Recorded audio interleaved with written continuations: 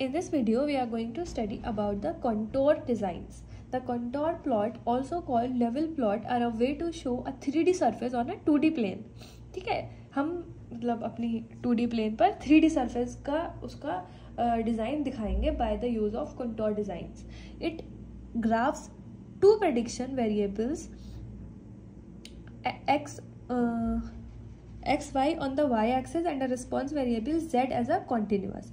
These contours are sometimes called as z slices or iso-response values. Okay.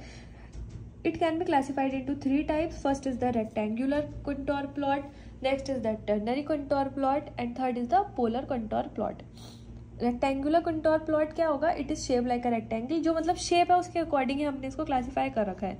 It shows a symmetrical surface with in a with a central peak ternary contour plot में हमारा जो shape रहेगा वो triangular and show a relationship between three explanatory variables and a response variable mainly third explanatory variable is height value for an X Y Z value in a ternary space polar contour plot में आता है they are circular it is plotted by using polar coordinates R and theta R is the distance और theta है हमारा angle from positive X axis contour plot is form by vertical axis where we have independent variable horizontal axis having independent variable and lines having iso response values horizontal values में we have the dependent variable okay